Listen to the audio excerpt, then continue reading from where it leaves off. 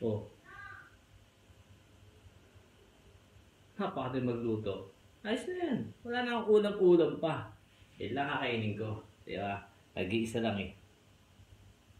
Okay. Kain na tayo. Now turn up.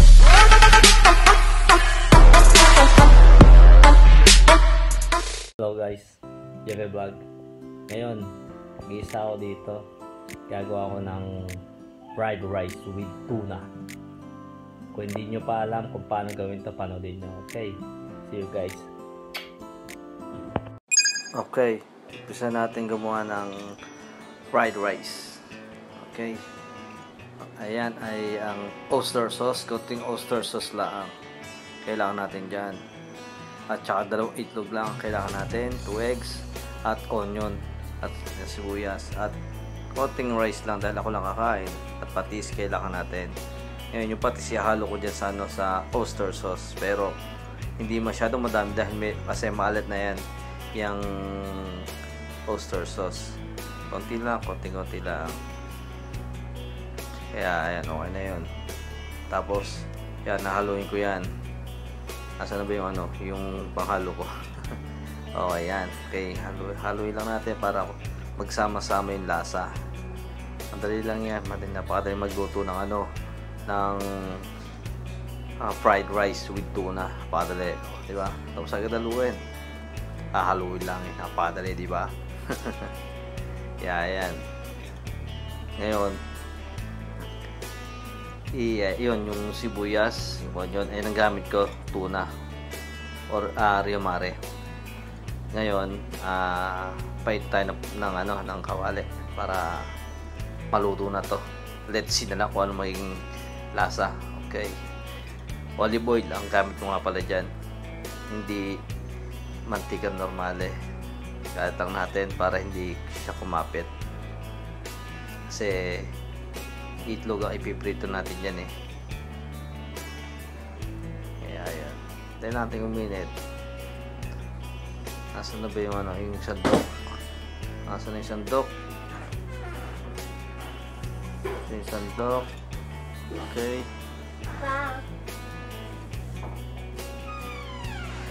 Okay. Itlog dalawang itlog ang iyan natin dyan.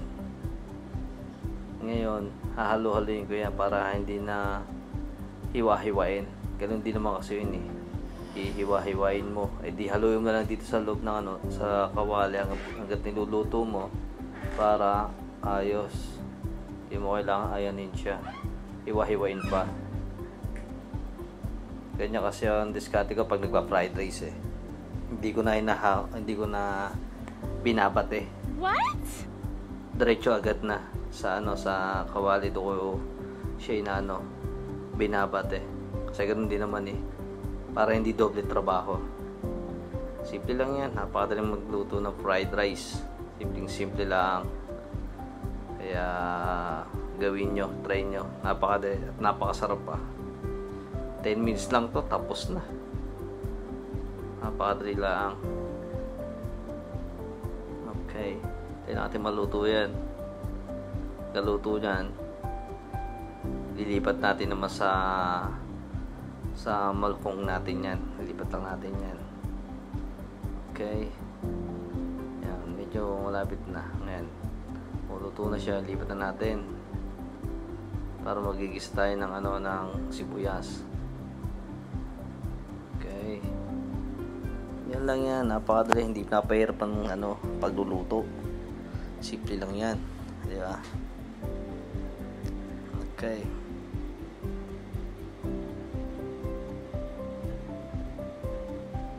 Oh, lagyan natin daon. Oh, di ba? Oh, lagyan ulit natin ng olive oil. Para hindi masyadong kolesterol. Di ba? Olive oil ang gamit natin.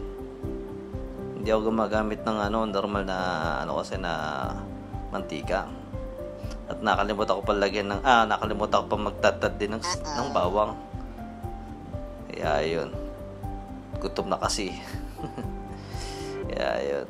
Dali lang naman yan. Pitpiting ko lang yan eh. Oh, oh di ba na, na- napadali lang yan. No. Oh, hiwa-hiway lang natin. No. Sasabay lang natin sa gisa ng ano yan, ng, ng onion. Okay, lagyan natin onion. Oh. Diba? Hintay natin maluto ang onion ng konti.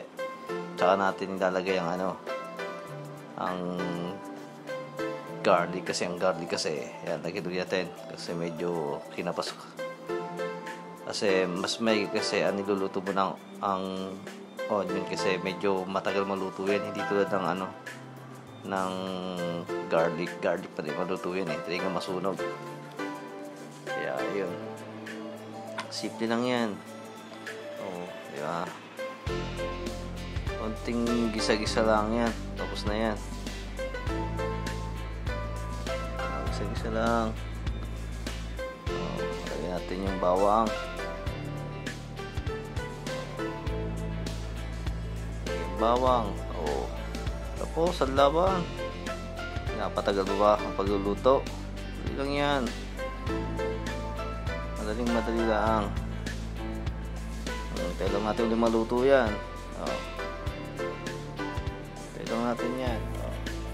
Ilagay natin yung oyster sauce at yung patis na pinaghalo ko na mix. Oh. Dapat yan, isasabi ko dyan yung ano, yung tuna, pero hindi ko sinabay. Kasi ano eh, magtatalamsigan masyado eh kasi may maraming ano yun, ah, oil. Kaya hindi ko pag hindi ko sinama. Oh, ano ko na agad yung rice. Walang asin yan. Hindi ko nilagyan ng asin yan. Kasi malasa na yun eh, yung oyster sauce at patis. Okay. Dagdagan pa natin ng kanin. Kasi baka mapakain ng asawa ko eh. Magustuhan niya eh. Diba? Ganyan ako. Tigasin. Tigasin magluto. Ano lang yan. Simple lang. Oh, Lutuin lang natin yan hanggang sa maluto na maluto. Pagkaluto niyan tsaka lalagay ano dyan yung yung tuna. Dahil lang natin maluto yan. Sa tuna na ilalagay natin dyan. Pero 100 grams yun ha? Yung tuna yun ha? Hindi malit na tuna yun Okay, ayun na. Buksan ko. Ayun, tatapon ko yung ano yan, yung oil. Ang dami kasi yan eh. So, so ayun natin. Diba, ang dami yan. 100 grams yan eh. So, tapos, ang laban. Ano pa ba? Simple-simple. Pinahihirap ang ano, pagkain. Ay, nakakainin ko. Wala nang ano-ano. Wala nang ulam-ulam dahil magkasama na yun eh. May ulam, may kalina, oh, may tono pa, di ba? Ano kailangan, at nasa sa inyo kung gusto nyo haluan yung ulam. Kung ano gusto yung ulam para sa akin, kailangan. Kasi, alam nyo naman ako, hindi masyado nagkakain ng matataba. Kaya yan, yun kinakain ko. Fried rice lang. Pero konti lang kung kumain ako talaga dahil ayaw ko na lumaki ulit chunk ko eh. Kita nyo naman ngayon. Nagmo-motivation yung aking katawan ngayon di ba? Kaya kayo kung gusto nyo bumayat huwag masyadong malakas sa kanin. Yung tama lang. Kain kayo ng kanin isang beses sa isang araw. O pwede rin kumain ng dalawang beses sa isang araw basta konting kanin lang. Huwag masyadong madami. More gulay dapat nakakainin nyo more vegetable Lagyan natin ng carrots yan. Okay, inamoy pa. Parang aso. oh, yan lang ang lagay. Oh, diba? Okay, yan lang ang lagay. Oh, tapos, ang laba. Papanguli natin dyan yung itlog. Itlog lang ang panguli natin dyan. Itlog lang ang malakas. Kaya, tapos na. Ano pa? Baka simple. Simpleng tanghalian lang. Pinahihirap pa. Uh, isa ka lang. No. Don't worry. Kayang-kaya yan. Ako pa. Diba? Ganyan lang yan. Oh. Hmm, tapos na yan, oh. Tayin natin yung itlog, oh. Di ba? Oh. Hindi, eh, tinatatatat pa daw.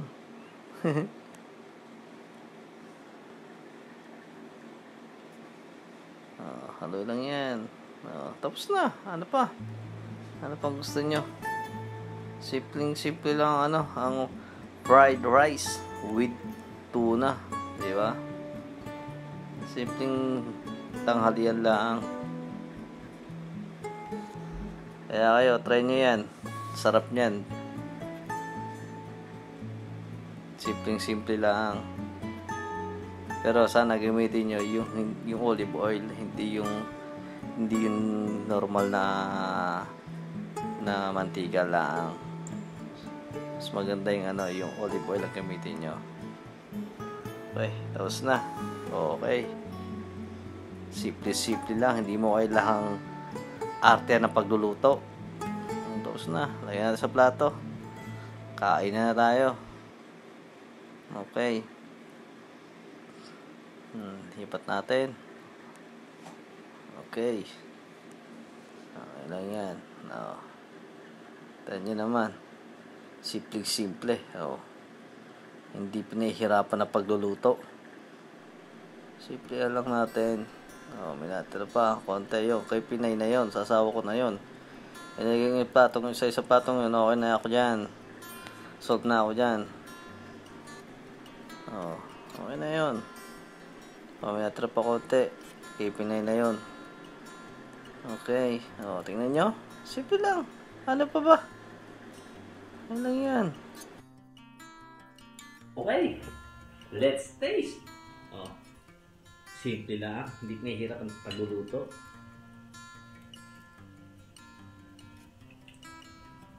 First try, perfect.